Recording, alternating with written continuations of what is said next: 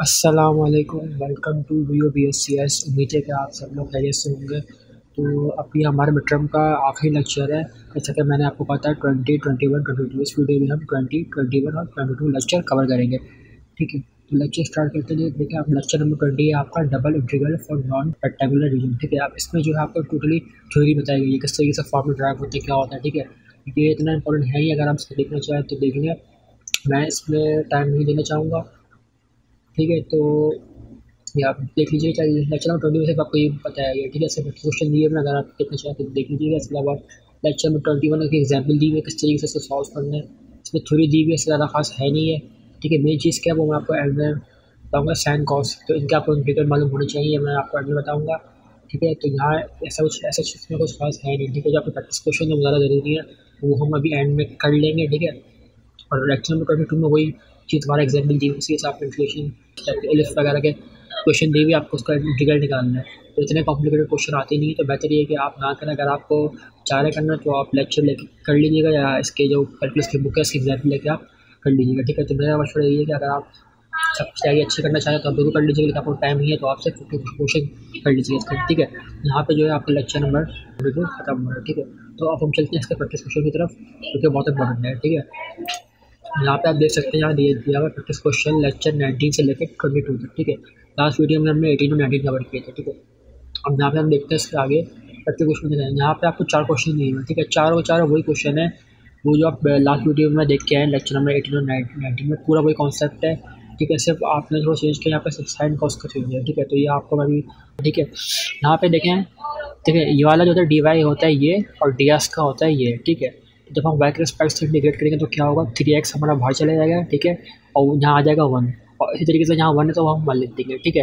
अब हम जब डी वाई यानी वाई के रिस्पेक्ट से इंटीग्रेट करेंगे तो क्या होगा? कॉन्स्टेंट का हो जाएगा वाई ठीक है? तो यहाँ पे आ गया वाई यहाँ पे आ गया वाई ठीक है?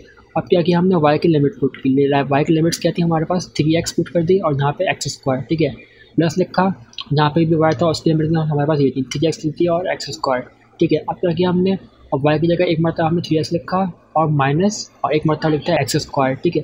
इसी तरीके से हम इसमें भी यही करेंगे वाई की जगह थ्री एक्स लिख दिया, उसके बाद माइनस एक्स स्क्वायर ये आ गया हमारे पास। अब देखिए अंदर सॉल्व नहीं हुआ तो हम क्या करेंगे, इसको मल्टीप्लाई करेंगे। थ्री थ्री नाइन स्क्वायर हो गया और थ्री एक्स स्क्वायर होने के बाद क्या हो गया? थ्री एक्स क्यूब हो गया, ठीक है?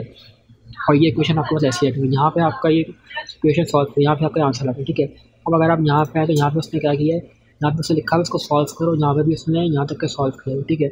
और अगर आप चाहें तो क्वेश्चन में लिखा हो उससे डी वाई निकालो तो आप डी वाई निकाल लेगा। और अगर वो कहे वो डी एक्स निकालो तो आप वजी इसको सॉल्व करेंगे यहाँ पर डी एक्स दिया हुआ है।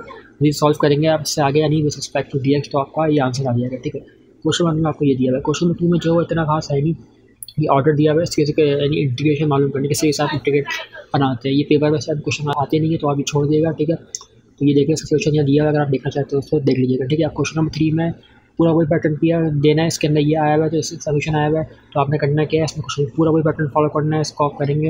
यहाँ यहाँ आप देखें, यहाँ इन्होंने दिया हुआ डी वाई ओवर डी ठीक है पहले हमने वाई के रिस्पेक्ट से किया। जब वाई के रिस्पेक्ट से किया, तब हमारे पास क्या हो गया? वाई आ गया। वाई आ गया लिमिट पुट किया इस तरीके से हमारे पास आंसर आ गया, ठीक है? तो ये बहुत ही आसान है और इतना मुश्किल है। नहीं आप ऐसे रिस्पेक्ट से करेंगे, वैसे ही आंसर आ जाएगा, ठीक है? अब क्वेश्चन नंबर फोर में क्वेश्चन नंबर फोर में जो आपके पास याद रखने वाली चीज़ है, लेकिन इंटीग्रेशन में क्या है? आपको एक चीज़ समझा दी है पैटर्न किस तरीके से सॉल्व करना है। सिर्फ़ फ़र्क है आपका फॉर्मूला पता होना चाहिए। अगर मैं आपको दिखाऊँ यहाँ पर जाकर आपने क्या करना है, ये इंटीग्रेशन का फॉर्मूला है, ये इसका डेरिवेटिव होता है, ठीक है? इसी के कॉस का साइन होता है, ठीक है? साइन का कॉस होता है कॉस का माइनस साइन होता है, ठीक है? तो आपने इस तरीके से ये हो गया आपका डिफरेंशियल ये इंटीग्रेशन फॉर्मूला ठीक है? डेरिवेटिव होता है जैसे कॉस का साइन हो गया साइन का कॉस होता है डेरिवेटिव होता है, और इंटीग्रेट क्या होता है? इंटीग्रेट इसका होता है अपोजिट साइन का होता है माइनस कॉस कॉस का होता है साइन ठीक है? साइन का होता है टेन तो आपने इंटीग्रेट का फॉर्मूला है आ जाता है, कुछ भी वैल्यू आ सकती है तो आपने पैटर्न वही होगा सिर्फ़ आपने वैल्यू चेंज कर देनी है, ठीक है? तो अगर आप यहाँ आए इस क्वेश्चन में इस क्वेश्चन में तो यही किया हुआ है। कॉस पाई क्यूब दिया हुआ है डी वाई और डी एक्स पहले आपने एक्स एस्पेक्ट से इसको इंटीग्रेट करना है। अब हमारे पास एक्स कोई है नहीं तो हमें पता है कॉन्स्टेंट कितना वन वन की जगह आ गया है, ठीक है? उसकी लिमिट पुट की क्या है? Y to zero Y to zero put किया तो वाई टू आ गया, ठीक है? अब कॉस पाई क्यूब ठीक है? अब इसने क्या किया? पहले इसको सॉल्व किया, इसको सॉल्व किया तो ये आ गया। वन प्लस थ्री और थ्री नीचे आ गया ठीक है, वन बाई थ्री इसने बाहर ले लिया। आप अब देखें cos by three. Cos by three में से क्या किया? आप हमें बताएँ। और यहाँ आकर देखें कॉस का इंटीग्रल क्या होता है? अब देखिए यहाँ कॉस का इंटीग्रल होता है साइन यहाँ पे आकर देखें इसने ये किया कि कॉस का इंटीग्रल यहाँ पर साइन ले लिया। साइन लेने के बाद क्या किया? उसने अपनी जो वैल्यू थी लिमिट्स की थ्री ज़ीरो थ्री फुट की ज़ीरो जब हम वाई की जगह थ्री फुट करेंगे three three nine nine three twenty seven sine twenty seven आएगा और साइन ज़ीरो की वैल्यू आ जाएगी। ठीक है तो ज़ीरो ज़ीरो हो गया और साइन ये थ्री की वैल्यू उठ की तो वापस याद आएगा सेट ट्वेंटी ठीक है? तो इस तरीके से चार क्वेश्चन दिए थे, बहुत आसान दिए थे।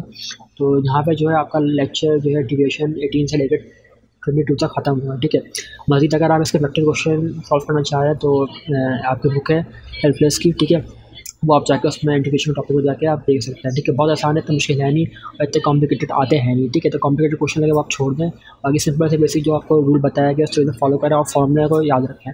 फॉर्मूले ज़रूर से वैल्यू चेंज होती है। कभी कौस आ जाता है, कभी सहन आ जाता है तो आप इस चीज़ का ख्याल रखें। बाकी इतना मुश्किल है नहीं, बहुत ही आसान है। मुझे काफ़ी टाइम नहीं मिलना चाहिए लेक्चर अपलोड करने का तो अभी भी बस बना दिए मैंने लेक्चर कि मेरी भी, मुझे भी तैयारी करनी और मसले मसाइल हैं तो इसके बावजूद मैंने कोशिश की बनाने की तो मैंने अपनी हंड्रेड परसेंट कोशिश की तो कुछ ना कुछ खामियाँ रह जाती हैं। तो उम्मीद है कि मेरे मन से लेके ट्वेंटी टू तक के मिड टर्म के लेक्चर आप लोगों को पसंद आए होंगे। तो इन कोशिश यही है कि पेरेंट के लेक्चर वक्त से पहले अपलोड हो। जाए तरीके यहाँ पर भी आपके तकरीबन आपके जो है मिड टर्म से पहले, यानी एक दो दिन पहले एक दो दिन पहले आपके कंप्लीट हो चुके हैं, ठीक है? फाइनल टर्म में मेरी कोशिश ये होगी कि एक दिन पहले नहीं, कम से एक दो हफ़्ते पहले कंप्लीट करूँ ठीक है? लेकिन आप लोगों को थोड़ा बहुत सपोर्ट के ज़रिए काफ़ी काफ़ी सपोर्ट मिला मैथ के लेक्चर में भी।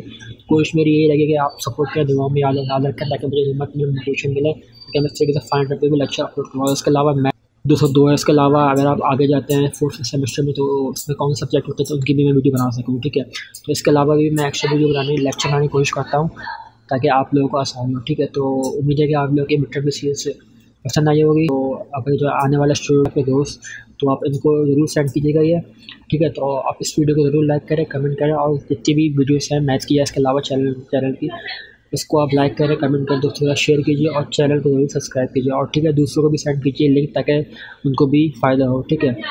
मिलते हैं अगले लेक्चर्स में जब तक के लिए अल्लाह हाफिज़।